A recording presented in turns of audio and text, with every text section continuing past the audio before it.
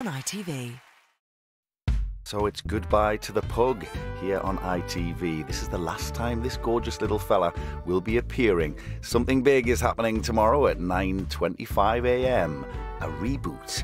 But now here on ITV, it's time for ITV Nightscreen.